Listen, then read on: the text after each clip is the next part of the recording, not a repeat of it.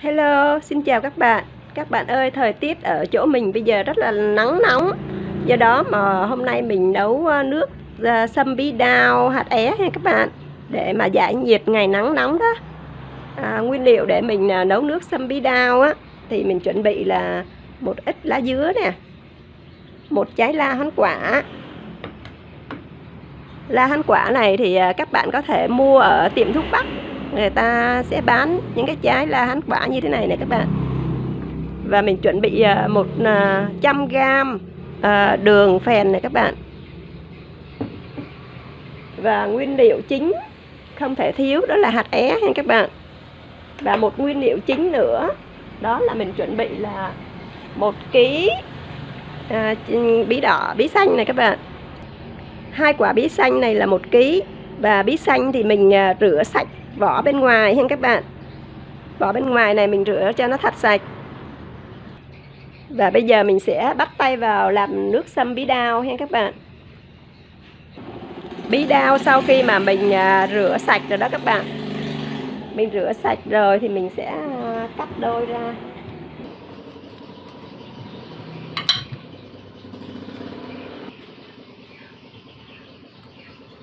Tiếp tục mình cắt ra nữa nha các bạn.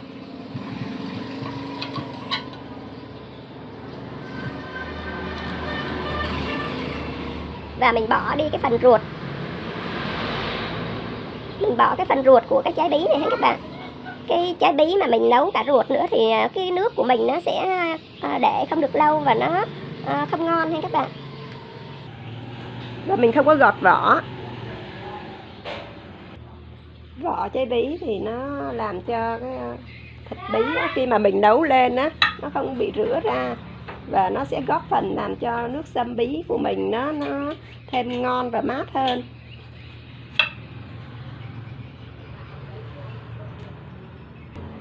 À, khi mà mua bí đao để làm nước sâm đó các bạn, thì mình lựa những cái trái bí đao mà nó còn tươi mới bẻ đó, và lựa những cái trái mà nó già nha các bạn.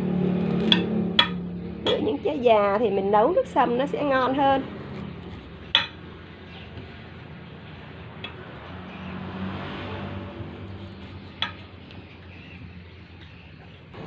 Tiếp theo nữa là trái la hán quả này các bạn. Mình sẽ cắt.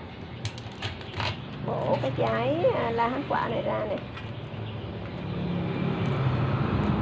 Tiếp theo mình sẽ đập nha. Đập cho nó dập ra.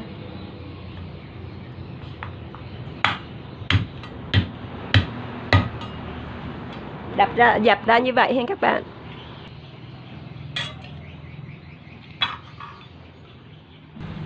bây giờ mình chuẩn bị một nồi nước sôi này ha các bạn.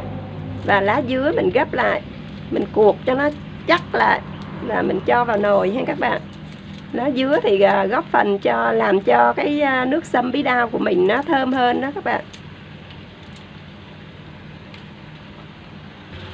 Tiếp theo nữa là la hán quả này các bạn. Mình cho hết vào nồi này luôn.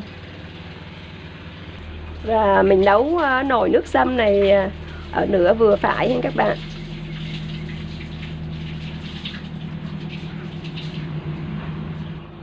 Rồi bây giờ mình sẽ à, đun sôi cái nồi nước này à, à khoảng 2 đến 3 phút cho à, cái la hán quả này nè. Nó, nó nó mềm và nó nhừ ra ha các bạn. Nó ra nước nè.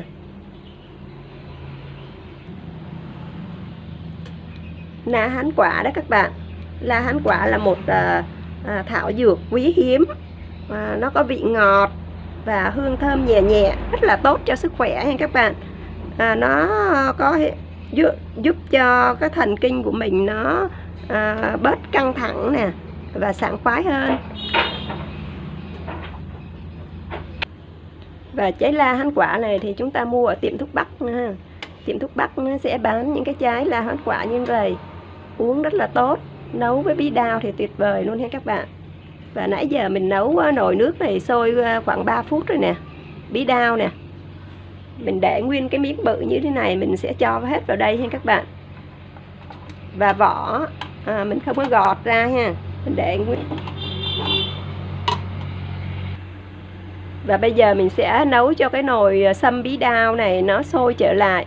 Và miếng bí nó chín mềm luôn ha các bạn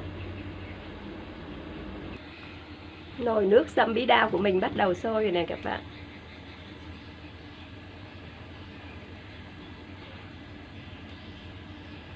Mùi thơm của lá dứa, mùi thơm của la hán quả, thơm dữ lắm các bạn.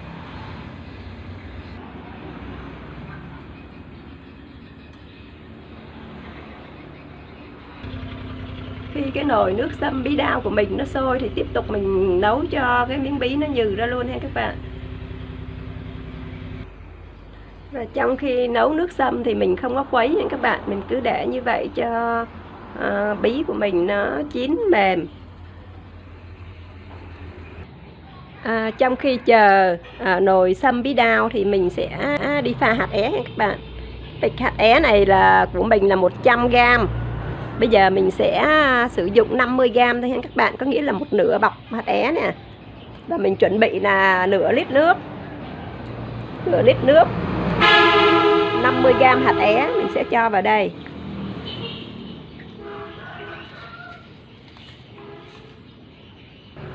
Và bây giờ mình khuấy lên cho hạt é nó lỡ ra ha các bạn.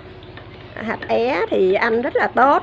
À, có công dụng là giảm mỡ máu, rồi à, giảm nguy cơ mắc các bệnh à, tim mạch, rồi thanh nhiệt, rồi giải độc, rồi chữa ho khan. Rất là nhiều công dụng tốt cho sức khỏe nha các bạn do đó mà mình à, sử dụng hạt é để mình à, à, nấu với à, à, uống với lại à, à sâm bí đao á.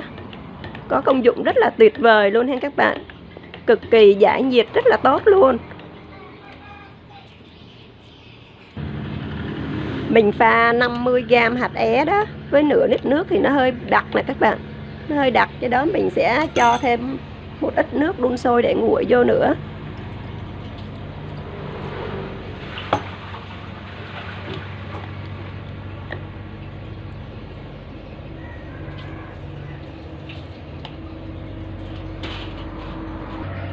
Và bây giờ mình sẽ để ở đây cho hạt é nó lỡ hết ra hen các bạn. Nó lỡ bung ra luôn. Hạt é pha với nước khoảng chừng 10 phút nè. Các bạn thấy là hạt é nó nở ra hết luôn này nè. Nở ra đặc trên luôn này nè các bạn. Và bây giờ mình sẽ cho vào cái à, ca hột é này, hai muỗng canh đường nha các bạn đường để tạo vị ngọt cho hạt é đó các bạn. Và bây giờ mình khuấy lên cho đường tan.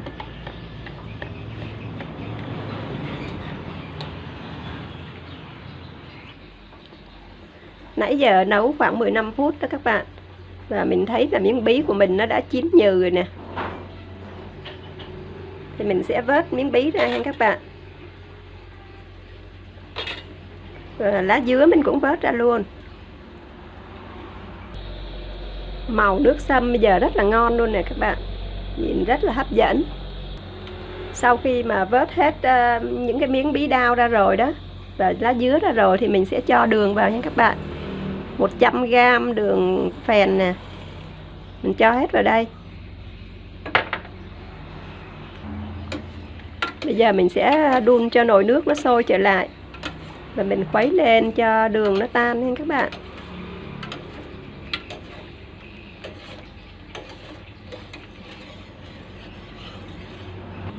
Nồi nước của mình bắt đầu sôi trở lại và đường đã tan rồi thì mình tắt bếp nha các bạn. Để cái nồi sâm của mình nó bớt nóng rồi nè các bạn. Bây giờ mình chuẩn bị một cái ca ha. Và cái đồ lược nè. Mình sẽ à, à, đổ cái nồi nước sâm này vào ca để mình lược. Mình bỏ đi cái phần cạnh nha các bạn.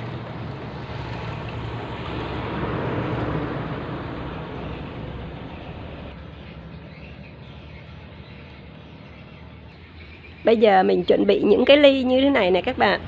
Để mình à, đổ sâm ra à, uống nha các bạn.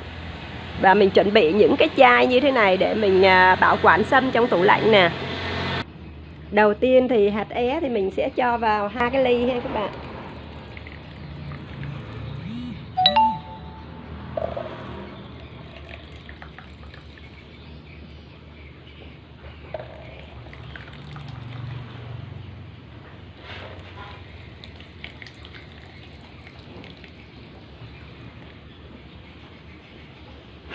Và ờ, hạt é mình cho vào chai cũng vậy. Mình sẽ cho 1 phần 3 chai mình cho một ít vào chai này cũng được.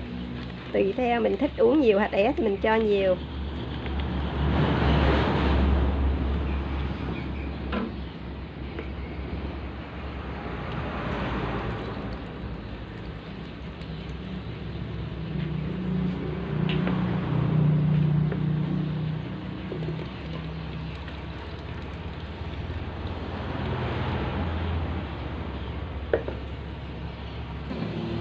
Tiếp theo thì mình sẽ run nước sâm bí đao vào những cái ly này ha các bạn.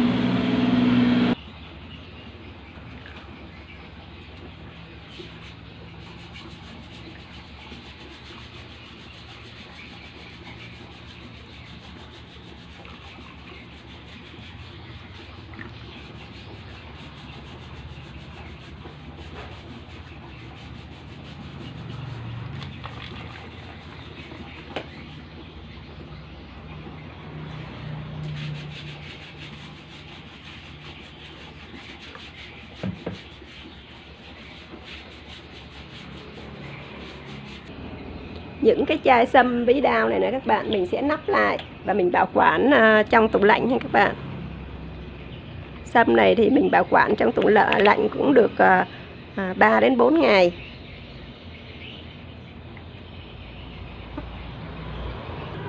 Và những cái ly sâm hột é này thì mình sẽ thưởng thức nha các bạn.